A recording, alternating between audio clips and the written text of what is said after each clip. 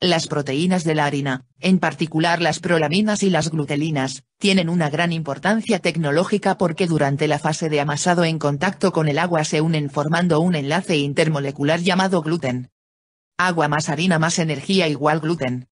El gluten es una masa compacta, elástica y porosa similar a una esponja que representa la estructura principal de la masa. Las características de la masa dependen de la calidad y cantidad de gluten. Grandes cantidades de prolaminas y glutelinas están presentes en la harina de trigo y, por lo tanto, causan la formación de gluten.